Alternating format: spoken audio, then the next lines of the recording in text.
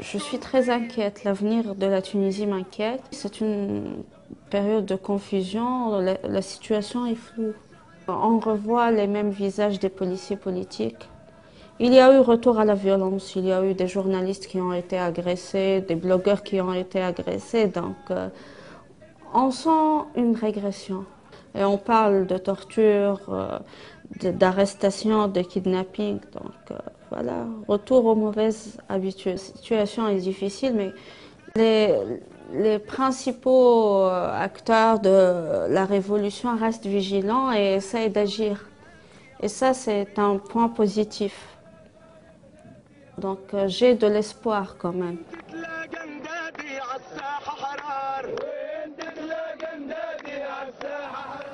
Euh, non, je pense pas que les médias sont prêts à informer les citoyens, en commençant par ce que moi j'appelle les médias traditionnels.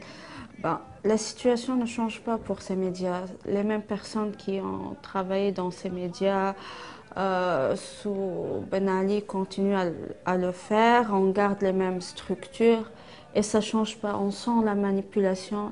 Ils passent des informations, ils, il, il bloque d'autres informations. Donc il y a toujours cette manipulation.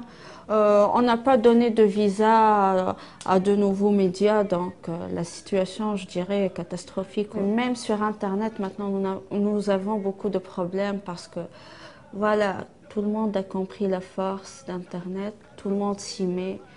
Euh, on y trouve beaucoup de rumeurs, des intox, donc euh, il faut être vigilant. Pour moi, maintenant, c'est dur de trouver la bonne information. D'ailleurs, hier, j'ai mis, un statut sur Facebook.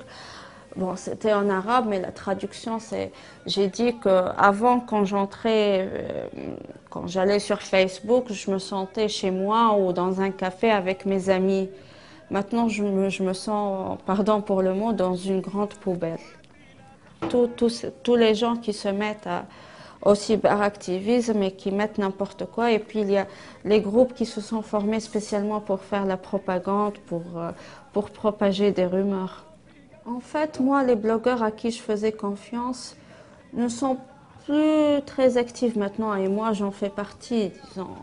Chacun a beaucoup, de nous a beaucoup de préoccupations, d'autres trucs à faire.